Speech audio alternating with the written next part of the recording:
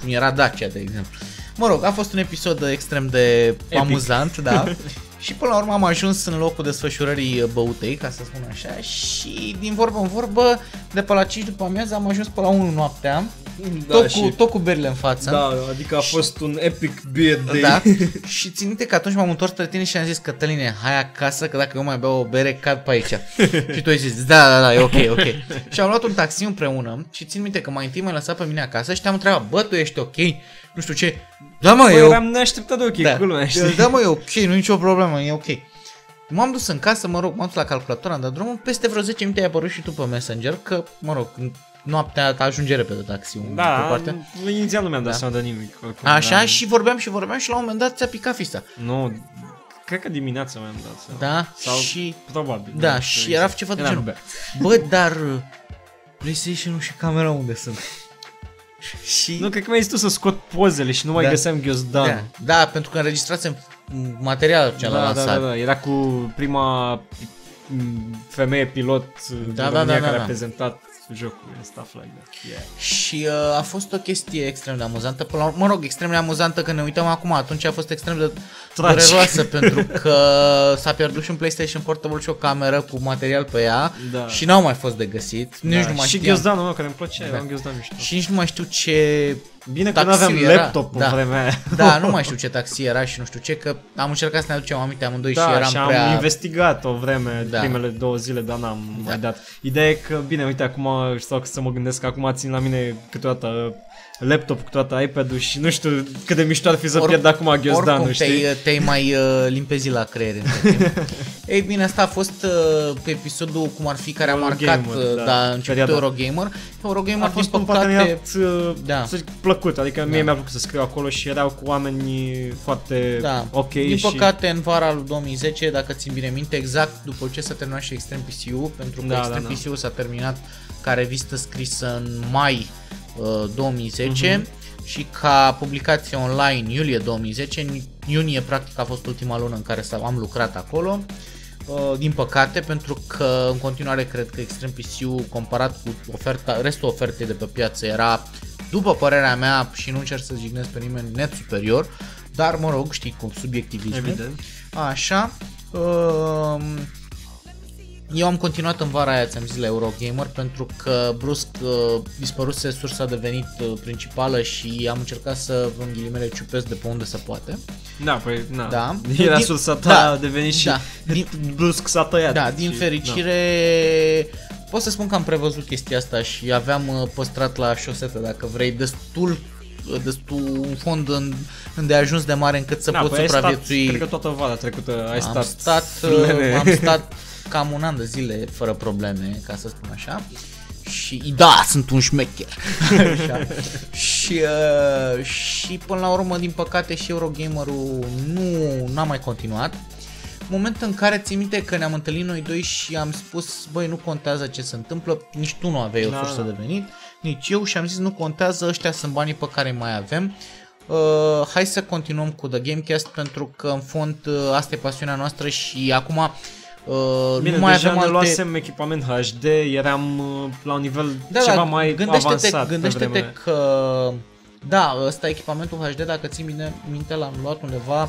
La începutul când, 2010. Da, când încă exista Extreme PCU și a fost o investiție destul de mare. Uh-huh. Placa de captură HD. Plus echipamentul de filmat cu lumini, cu trepiede. Da, cu... asta s-a făcut la începutul lui The Gamecast TV când... Uh, asta a fost în 2009, la, la, încep, la sfârșitul 2009. Da, asta, când, uh, da, a fost și aia o investiție ținută, dar o investiție care s-a recuperat ulterior.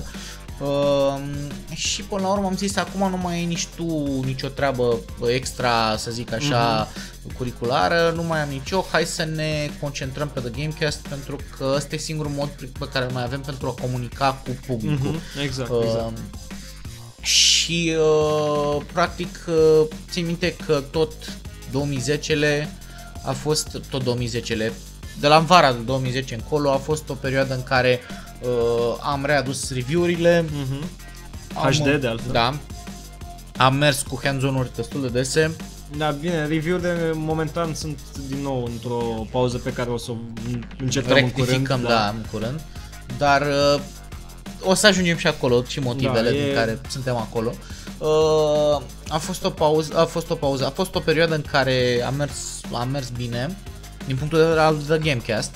A fost țin minte la sfârșitul lui 2009, mă rog, în toamna lui 2009, concursul cu PlayStation 3 care a fost uh, un Epic. hit enorm, da, și ca, for the record, uh, Jumătate din PlayStation 3 a fost plătit de noi din buzunar, iar cealaltă jumătate a fost uh, oferită de cel mai serios partener pe care îl avem și acum și nu mi-e rușine să-l... Care e bannerul deasupra tuturor știrilor, da. web predator da. Alex, toată uh, lumea, probabil cei da. care își cumpără jocuri de console de la el da. și știu. Uh, aia a fost, uh, am ținut neapărat să oferim o chestie la vremea inedită pentru gamerul român, pentru că... De-abia să lansase la, De-abia să lansase și țin minte că s-a lansat în august și noi în septembrie la început îl aveam da, da, da. acolo și uh, da, a fost, era o perioadă în care chiar ne permiteam, eu cel puțin îmi permiteam să dau bani de la mine ca să fie lucrurile bune pe The Gamecast uh-huh. și mhm. să se bucure.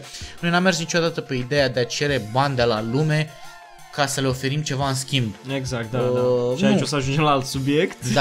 Avem uh, a, f- a fost o chestie pe care uh, încă o dată am zis să o facem noi pentru lume pentru că uh, e mai e prost spus pentru lume, ci nu, mai degrabă că... pentru noi, pentru că așa am simțit și ăsta a fost un lucru no, făcut pentru Eu merg pe ideea că fără public nu există da. și dacă nu oferi publicului ceva pentru faptul că te citește și pentru că vine zi de zi acolo și vede ce faci și apreciază chestia pe care o faci, mai bine nu o faci, știi? Adică dacă o faci pentru tine, mai bine te duci și te apuci de altceva, nu știu. Da. Și uh, asta a fost o, o perioadă interesantă, țin minte, cu, a fost o afluență de public enorm. E adevărat, și justificată uh, de premiu da, deosebit material. de atractiv, da? Uh, ce m-a bucurat foarte mult la concursul a fost că uh, respectiva consolă premiu a ajuns la un băiat uh, super simpatic, un puști. Da, care uh, încă ne citește. Da, și care uh, Teodor, Teo. da, Teodor din Giurgiu și care ținte că a venit cu tata lui la București și a fost, uh, era foarte entuziasmat și da, a fost foarte... de întâlnirea aia, m-am uitat la niște poze de curând de la întâlnirea aia, băi, deci eram tras la față la modul grav bine, era și o perioadă în viața mea în care trăiam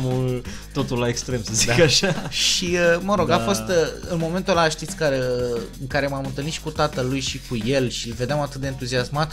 În momentul ăla simțeam că tot efortul făcut până în punctul ăla a fost uh, worth it și aș, mă simt foarte, foarte bine că am făcut chestia asta. Uh, am zis de trecerea la HD, am zis de um, Warzone, am zis de The Gamecast TV. The Gamecast TV care la început a fost mai des, după aia s-a mai rărit în funcție, nici nu mai aveam timpul respectiv de a sta în fiecare săptămână și de a face mm-hmm. ceva și să fim sinceri, nici nu erau subiecte atât de multe da, încât da, să putem... am, am decis inițial să facem uh, pe lansări de jocuri, pe urmă lansările n-au mai fost atât de interesante din punctul meu de vedere și o să trecem imediat la evenimente Uh, și am zis pe urmă să facem la chestii inedite, cum a fost uh, PlayStation Move și Kinect. Da, și o să continuăm de fiecare vreme. dată când vom avea o ocazie am... de genul ăsta, o să mai facem. Cu 3DS n-am făcut pentru că nu avem jocuri la dispoziție Dar pe de altă și parte, pentru că e destul de greu de înregistrat pe material de altă parte, de, de ce să ne ascundem după, după deget? Pentru că 3DS-ul a fost prezentat video, cred că în singurul loc în care a fost prezentat a fost The Gamecast. Da, da. Așa, și am avut și Sony, Sony, Sony Xperia, Xperia Play. Play, pentru că iarăși nu l-am văzut în niciun alt loc. Uh, la modul ăsta prezentat. Da, video și hands-on, da, practic, da. nu da. vai review, e, e un telefon extraordinar. Da. Și, uh, mă rog, uh, asta ne aduce și la ce ziceai tu mai devreme, faptul că în... asta a fost când am avut timp anul trecut, Uh, în care am zis, uh, mă rog, fusese martor la mai multe evenimente de lansare ale jocurilor și până la urmă am ajuns la concluzia, hai să încercăm să ne facem și noi ceva în domeniul ăsta pentru că pariez cu tine, țin minte că a fost că noi putem să le facem mai bine decât da, uite, uh, apropo de evenimente, vreau să spun și să îi mulțumim pe această cale lui Iați Interday de la Ubisoft, că a fost probabil primul care ne-a băgat practic în seamă și care ne-a invitat la evenimente în mod oficial și Uh, ne-a acordat uh, interviuri și fără nicio chestie și care se întâmplă ca între timp să devenim buni prieteni și na, din când în când mai vine și pe la Warzone, noi da. ne vedem uh, să zicem din când în când la câte o bere, deci Uh, da, e un bun prieten al exact, Game Exact, da. exact. Și nu numai pe cale oficială. Asta, da. asta vreau să subliniez. Și, uh, mă rog, evenimentele lui, de ce să nu recunoaștem uh, inițiale, țin minte că a fost uh, uh, Brothers in Arms, a fost Call of Forest Bound in Blood, uh, da, da, da. Uh, Hawks și așa mai departe, au fost o sursă de inspirație pentru exact. ce am încercat și noi mai târziu. Ei, prin, țin minte că anul trecut prin vară, Uh, tot vorbeam cu unul dintre par- viitorii parteneri și actual prieteni buni uh, Gigabyte, da, da. Uh, mai exact Andrei de la Gigabyte și uh, tot analizăm posibilitățile de a realiza un eveniment împreună. Da, e mai greu pentru că majoritatea lansărilor de jocuri se fac acum pe console pentru că pe platforma asta apar inițial, da. cum a fost Assassin's Creed Da, și noi căutam o oportunitate de a găsi ceva pe PC și, cum să zic... De interes. Da, de interes pentru publicul de la noi. Și am zis, hai să încercăm ceva la Worms, dar e complicat pentru că Worms Reloaded da, da, era un era titlu digital only, da. Steam. Și nu, practic nu exista distribuitor în România oficial și trebuia luată legătura cu cu producătorul și dar am zis hai să aruncăm o piatră în fântână să vedem dacă se întâmplă ceva. Da. Și uh, uimitor răspunsul din partea Team 17 și companii de PR care se ocupă de Team 17 a fost, a fost uh, pozitiv. Da, putin spus pozitiv. Practic oamenii ne-au uh, asigurat tot suportul de care nici nu ne gândeam că o să uh, primim atâta. Practic nu ne știau, adică tu ai avea încredere într-un străin de genul care îți dă un mail. Îți dă un mail exact. Da. da. Ei, uh, ne-am, la momentul ăla țin minte că ne-au dat jocuri, ne-au dat design pentru tricouri, ne-au dat, au plătit. Deci evenimentul a fost plătit de ei. Și uh, a fost la modul... Deci total neașteptat. Și în, uh, în felul ăsta am reușit să facem primul nostru eveniment, uh, lansarea Worms Reloaded, pe care l-am făcut și într-o locație care, cel puțin din punctul meu de vedere, mie mi-a fost pe plac. Uh, a fost vorba de Cafe Verona, sub, uh-huh. uh, sub librăria Cărturești, de lângă Patria, București. Și uh, țin minte că am uh, avut PC-uri cu Worms, s-a ținut un concurs, au fost niște premii ok, chiar da, raport, și Genius da, și, și Genius Gigabyte. și Gigabyte au fost niște premii ok, jocuri, Team 17 a dat jocuri uh, Redeem codes pentru, da, pentru, pentru că, Steam. Da, uh, ei bine, ăla a fost primul nostru eveniment și uh, atunci, în momentul ăla în care s-a organizat, am ajuns singur la concluzia că, vai, nu trebuie să mai vorbesc pe nimeni de rău în legătură cu evenimentele, pentru că cine n-a făcut ceva de, de genul ăsta nu o să știe și... niciodată care-i stresul și câte, pe câtă lume trebuie să, trebuie să ai în vizor și trebuie să uh, ghidezi în același mm-hmm. timp.